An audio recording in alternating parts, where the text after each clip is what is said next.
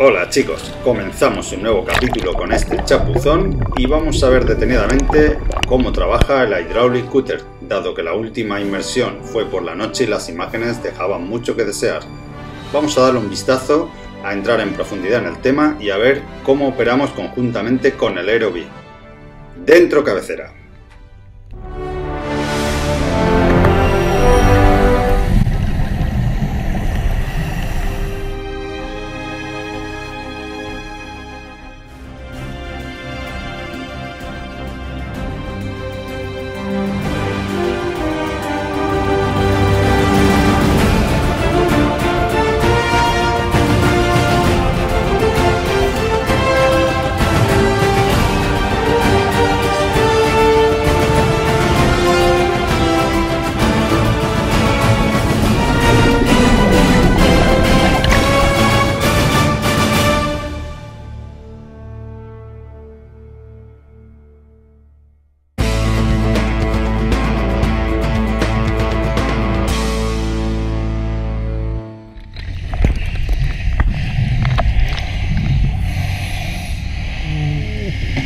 Bueno, pues hemos cogido un poco de umbilical, hemos salido del air basket y ahora nos dirigimos a la tubería. El supervisor nos da rumbo y nos ponemos en marcha.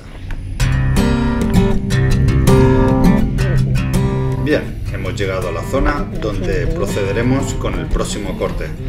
Esperamos pacientemente a que el operario de la grúa vaya bajando la pinza y seguidamente la colocamos. Una vez esta pequeña pinza de 40 toneladas está en posición y nos hemos asegurado de que el corte va a ser adecuado, retornamos al air basket a una posición segura. Una vez allí, el Aerobee saldrá de su garaje e irá a inspeccionar toda la maniobra.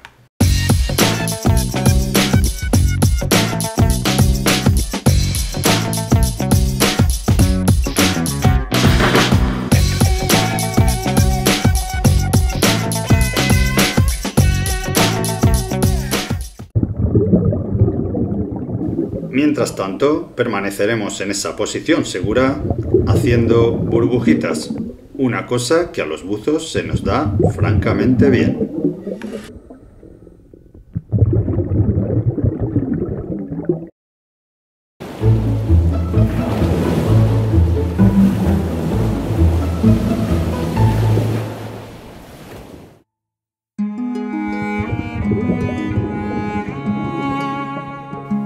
Una vez el corte está realizado en la tubería, el supervisor nos manda regresar al punto de corte y retirar la pinza de la ubicación.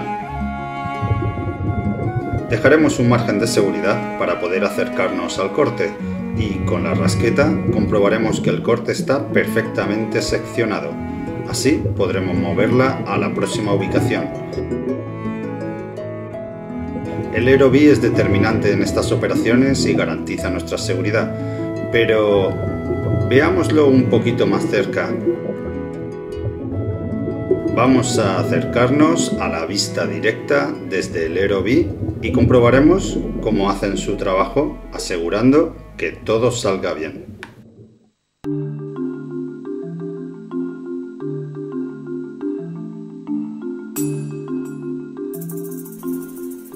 Bien, pues aquí tenéis la cámara frontal del Aerobee y tal y como la está viendo el piloto que lo está dirigiendo. Ahora mismo el frame donde se soporta el garaje del Aerobee está saliendo hacia el exterior de la borda del barco utilizando el carrete para bajar el garaje al fondo del mar.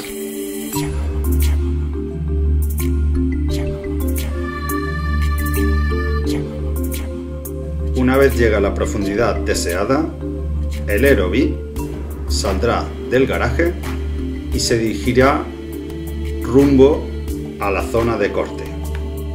Aquí vemos el garaje y el Aerobee un poquito más adelante que está justo abandonándolo para llegar a la zona de trabajo.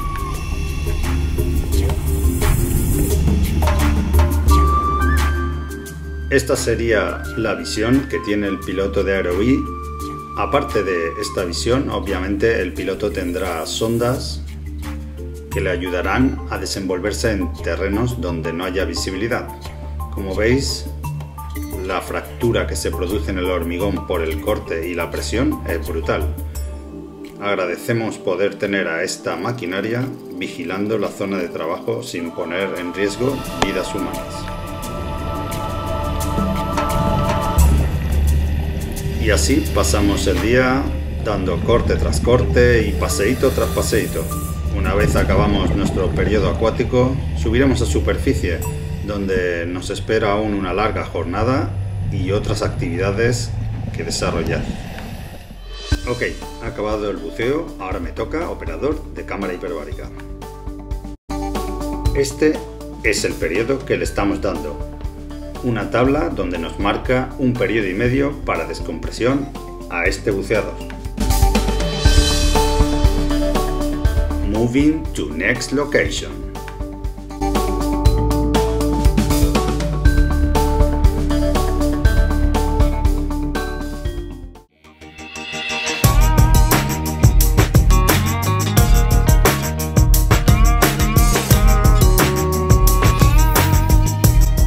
Más, dándolo todo ahí abajo y dejándonos la piel, como de costumbre, para conseguir los mejores resultados.